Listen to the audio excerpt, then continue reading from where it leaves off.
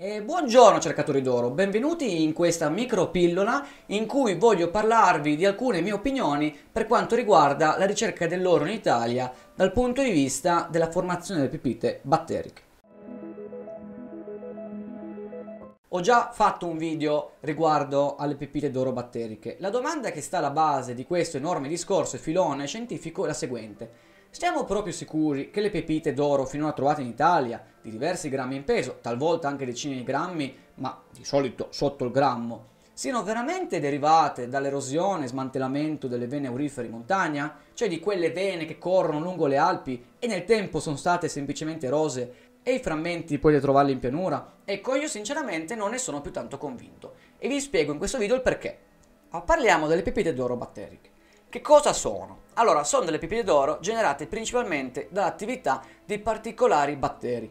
Questi non vivono da soli, bensì vivono formando delle vere e proprie colonie che si attaccano a delle superfici e via via nel tempo tendono a creare dei livelli, partendo dalla superficie di partenza, composti proprio di oro puro. Questo è importante perché l'oro tendenzialmente in natura è una lega e non è puro al 100%, quindi in questa lega ci sarà anche dell'argento e anche del rame.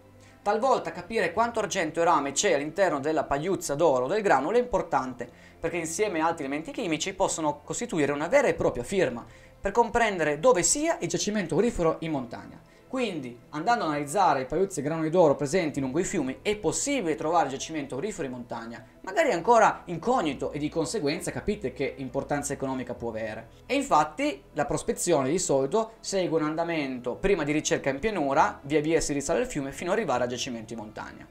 Le pepite d'oro batteriche invece sono abbastanza un'eccezione. Dovete capire che fin da quando la vena d'oro in montagna viene erosa, quindi va in frammenti e di conseguenza anche alcuni minerali vengono alterati chimicamente, ad esempio la pirite non è stabile a contatto con le acque superficiali, con l'atmosfera. Inoltre dovete pensare anche che appena queste vene vengono a contatto con l'ambiente circostante c'è anche tutta la biosfera, quindi si parla di alberi, si parla di batteri, si parla di tutta questa sfera composta dalla vita e si è scoperto negli ultimi decenni che alcuni batteri potrebbero avere un'attività importante non solo nell'ingrandire alcuni granuli presenti e derivati dalla fermentazione delle vene, piuttosto che formare delle vere e proprie pepite d'oro.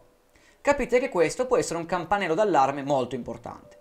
In Australia, per esempio, dove si trovano quelle pepite grandi, decine di grammi piuttosto che centinaia di grammi, magari di fianco ci sono le vene aurifere, però quelle vene aurifere non contengono delle masse d'oro di tali dimensioni contengono dei microgranuli. Allora, com'è possibile che nella vena ci siano dei microgranuli e poco di fianco alla vena nel deposito che si chiama eluviale vi siano delle pepite vere e proprie anche di centinaia di grammi? Ecco, vi è quello cosiddetto arricchimento supergenico. Questo arricchimento può essere dovuto proprio all'attività batterica.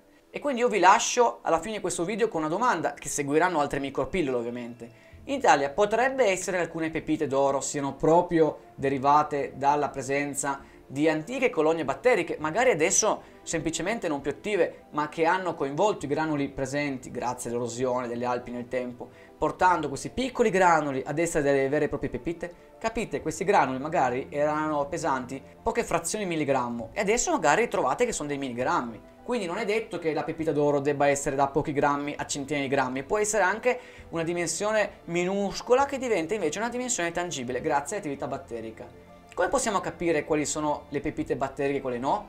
Questa è un'ottima domanda, l'approfondiremo insieme nei prossimi video.